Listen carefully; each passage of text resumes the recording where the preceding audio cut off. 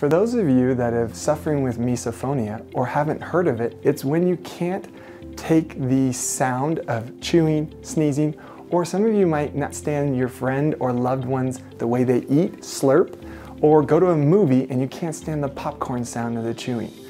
Those are associated with a diagnosis called misophonia. Misophonia is an area that's highly correlated with an emotional connection called the amygdala, but we also know that it's neurologically connected to your fight or flight reaction. So how do we analyze it? We look at the brain, we apply therapies to change that fight or flight, and because we have diagnostic tools to both check pre and post, we can know if we're making a difference. If you'd like to come, give us a call here at Brain Rehab Clinic, located in Orem, west of the freeway, and Christine will answer any question that you might have.